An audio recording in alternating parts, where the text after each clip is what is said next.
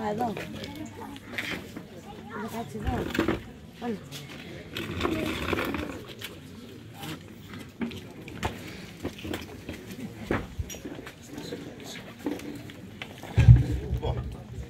Ευχαριστούμε πάρα πολύ για όλα.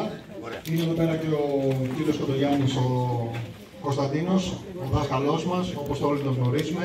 Θα μας πει δύο λόγια για αυτό εδώ το ωραίο το μνημείο που μας έχουμε, έχουμε φτιάξει όλοι μαζί. Παρακαλώ την προσοχής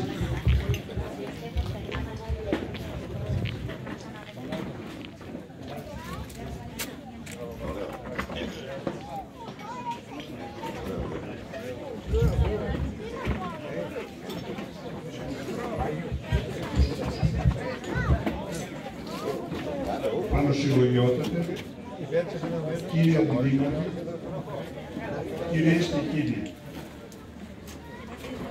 Σε μια κοινωνία, όσο μικρή κι αν είναι, πρώτη στο μέλημα θα πρέπει να είναι η τιμή και αναγνώριση της προσφοράς των προγόνων.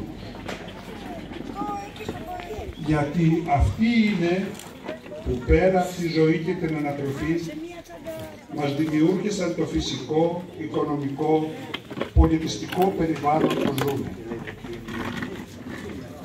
Πολύ δε περισσότερη τιμή και υποχρέωση οφείλουμε και σε αυτούς που με τους αγώνες τους ή με τη ζωή τους ακόμη εξασφάλισαν συνθήκες δημοκρατίας, ευημερίας και ελευθερίας στους απογόνους τους. Η σημερινή ημέρα είναι μια ευκαιρία να εκφράσουμε την ευγνωμοσύνη μας στα πρόσωπα αυτά που πήραν μέρος στους αγώνες του έθνους μας και που η λύθη δεν επέτρεψε να επισκιάσει το όνομά τους. Ίσως να